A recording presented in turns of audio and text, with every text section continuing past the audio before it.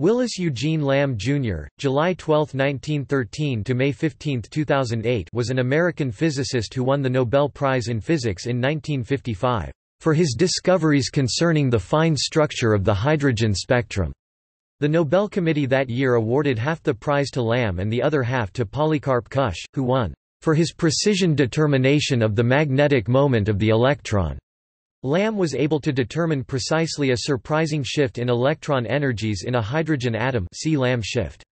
Lamb was a professor at the University of Arizona College of Optical Sciences. Biography Lamb was born in Los Angeles, California, United States and attended Los Angeles High School. First admitted in 1930, he received a Bachelor of Science in Chemistry from the University of California, Berkeley in 1934.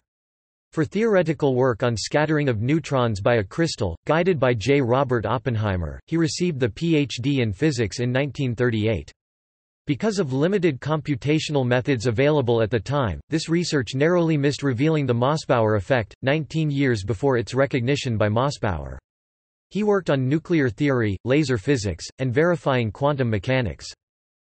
Lamb was the Wykeham Professor of Physics at the University of Oxford from 1956 to 1962, and also taught at Yale, Columbia, Stanford and the University of Arizona.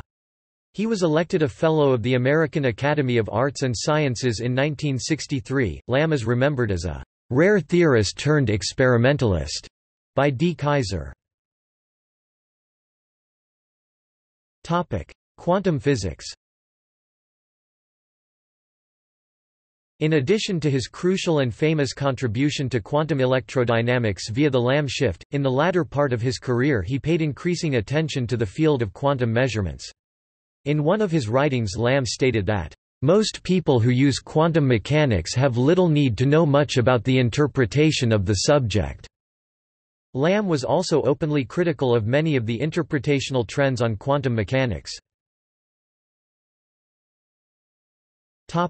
Personal In 1939 Lamb married his first wife, Ursula Schaefer, a German student, who became a distinguished historian of Latin America. After her death in 1996 he married physicist Bruria Kaufmann in 1996, whom he later divorced. In 2008 he married Elsie Watson. Lamb died on May 15, 2008, at the age of 94, due to complications of a gallstone disorder. References. External links.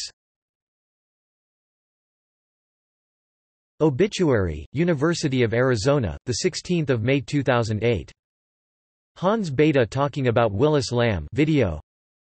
Willis E. Lamb Award for Laser Science and Quantum Optics. Nobel Lecture Collection of articles and group photograph This photograph taken at Lasers 92 includes, right to left, Marlan Scully, W. E. Lamb, John L. Hall, and F. J. Duarte. Obituary, Willis E. Lamb, Jr. 94, Nobel Prize-winning physicist National Academy of Sciences Biographical Memoir